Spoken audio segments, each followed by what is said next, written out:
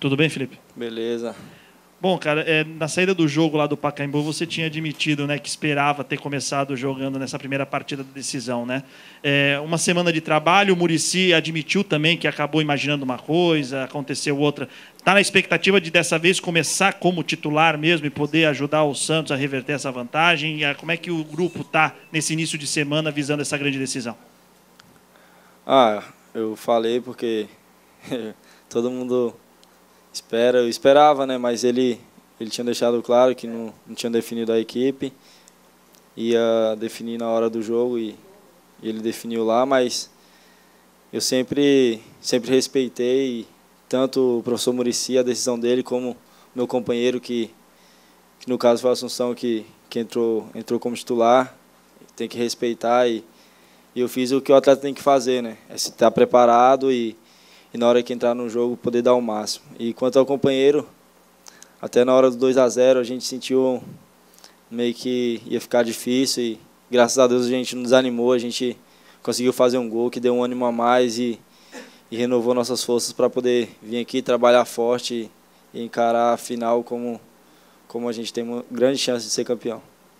Agora como é que fica a cabeça do jogador é, em uma semana é, decisiva? O Montijo ainda com essa indefinição se vai jogar ou não. Provavelmente a sua escalação depende disso. É, e de qualquer forma você deve jogar, porque independente se o, o, caso o Montijo seja liberado, pouco provável que ele jogue os 90 minutos. Então eu queria que você falasse sobre, sobre essa expectativa e também como é que foi para vocês aí o que já era esperado a convocação do Neymar. a gente gente deu parabéns para ele, né? Respondendo essa última pergunta e ficamos muito felizes de, de ele ter sido reconhecido novamente e ter sido convocado. A gente sabe que é uma força mais para nossa seleção e a gente torce para o Brasil, né? E quanto jogar titular, uma decisão é um sonho, né?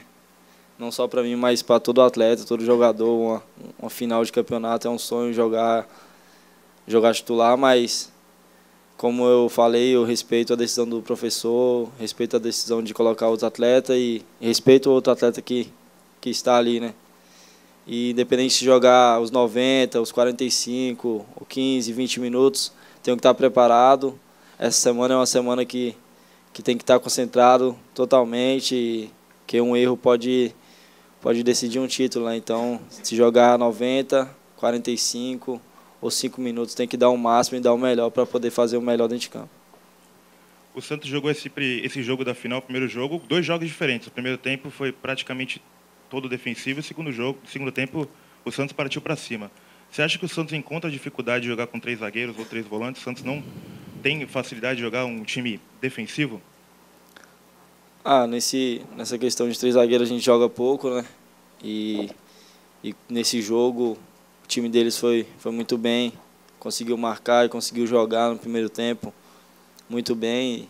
Tanto que o professor Murici falou que não encaixou e tanto que ele mexeu, né?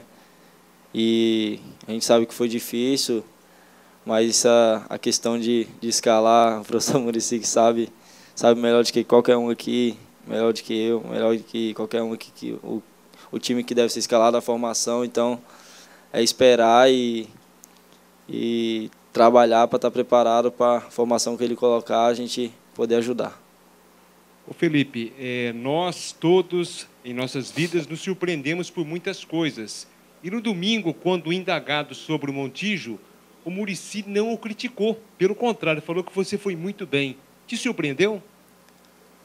Ah, não surpreendeu porque ele ele sempre sempre falou a verdade.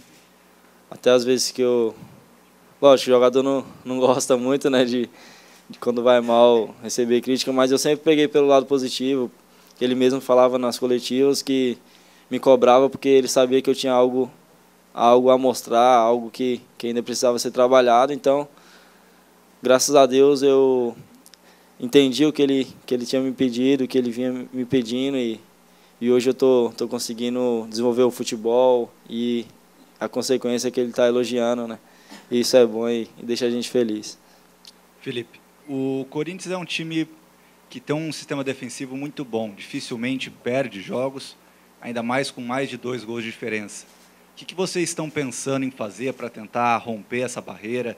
É, claro que vocês contam com a habilidade do Neymar, mas o que, que no todo vocês podem fazer para conseguir levar esse título sem a necessidade dos pênaltis? Ah, a gente sabe, né, que, que há muitos uns dois anos já que eles vêm jogando assim, a, o time deles sofre poucos gols, mas a gente sabe também que eles ganham por poucos gols, né? Então a gente tem que ter paciência, não entrar na loucura, como sempre o professor Murici pede para a gente, entrar com tranquilidade, tocar bem a bola. Uma hora o espaço aparece, como você mesmo falou, a gente tem a habilidade do Neymar, o improviso dele, então é trabalhar a bola e, e uma hora achar um espaço e sem loucura, uma decisão, lógico, tem que estar com, com sangue no olho, como a gente fala, mas sem loucura para poder esperar o momento certo de, de fazer o gol. Felipe, uh, e no momento de decisão, são duas perguntas. No momento de decisão, como é que você administra entre o ímpeto de ir para o ataque porque o relógio está contra você e manter a tranquilidade de saber que tem 90 minutos para fazer o resultado? Essa é a primeira pergunta. E a segunda, seu futuro, como é que fica? Agora vai abrir a janela de novo na Europa? Já, já começaram a falar outra vez? Como é que tá? Da outra vez você tinha falado que eh, só queria uma, uma, uma proposta que fosse concreta. Como é que está agora a tua vida? Então, sobre até o começo do jogo para a gente é difícil, porque tem a semana toda e é uma decisão e vem a ansiedade, mas a gente tem que saber controlar, tem que trabalhar e e esperar tranquilo a hora do jogo e depois ali que começa a gente tem que sentir o jogo, sentir o, o que o adversário vai oferecer, se eles vão atacar, se eles vão querer segurar o resultado. Então isso só dá para falar na hora do jogo, se a gente vai acelerar, se a gente vai é, ir para o ataque, se a gente vai colocar a bola na área. Então só na hora do jogo que, que dá para sentir isso. E sobre o futuro, eu nem comecei essa semana, semana passada, nem quero falar disso, não quero pensar sobre isso, porque é uma semana que pode se tornar uma semana que pode ficar para a história, né? Um jogo que pode ficar para a história, então só quero pensar na decisão. Felipe, é, após o fim do jogo, você deve ter visto os corintianos, né? O Paulinho, alguns jogadores lamentaram o fato de não terem feito uma vantagem, construído uma vantagem maior, né? até porque criaram para isso no primeiro tempo. No segundo tempo teve um lance curioso com você, né? Que do Fábio Santos, né? Um enrosco que alguma, algumas pessoas viram como pênalti, outras como um enrosco na área. Olhando para o teu lado, foi pênalti e você acha que isso poderia ter mudado o clássico? Ah, não. Eu acabei não conseguindo ver o lance. Eu, eu vi todos os lances do, jogos, do jogo, mas nenhum, nenhum vídeo, nenhuma coisa tinha mostrando o lance detalhadamente. Mas na hora ali, eu achei que o juiz ia dar. Não sei se foi pênalti, como eu falei porque eu estava olhando a bola e, e do nada eu tomei um susto, porque eu estava dentro da área, a gente espera que ninguém vai encostar na gente, né?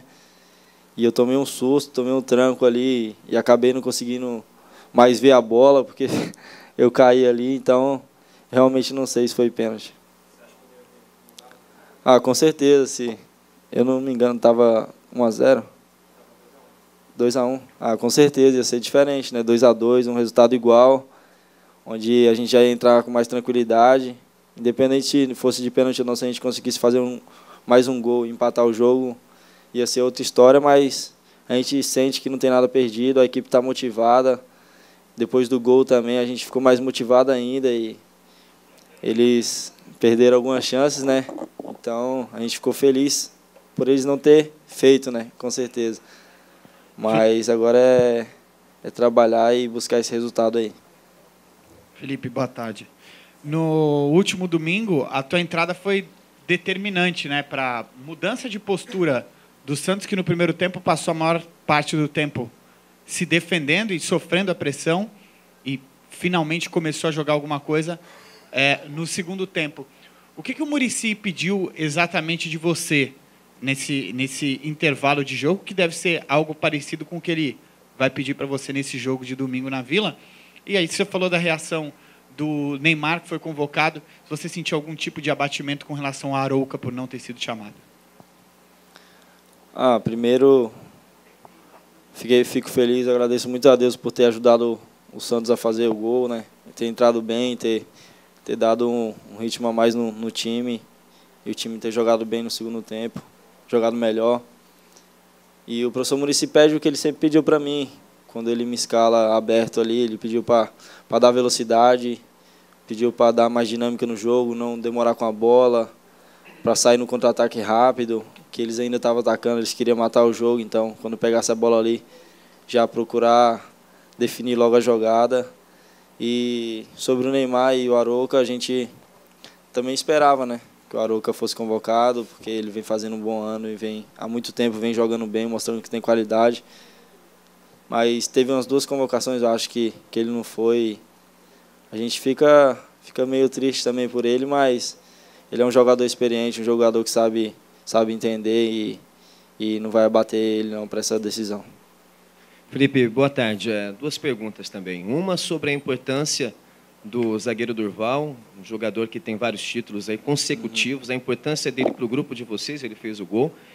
E a segunda pergunta é o seguinte: é, apenas três vezes na história de decisões do Paulista, um time que estava em desvantagem conseguiu reverter.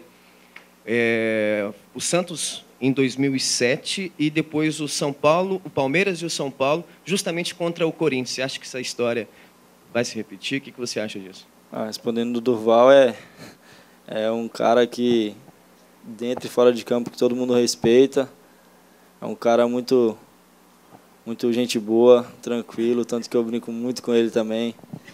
E é um cara que passa segurança também dentro de campo, um cara que a gente vê que, que é firme, um cara que também, como ele fez o gol lá em contra o Joinville, fez o gol, ajudou a gente, vai vir mais tranquilo para jogar na Vila.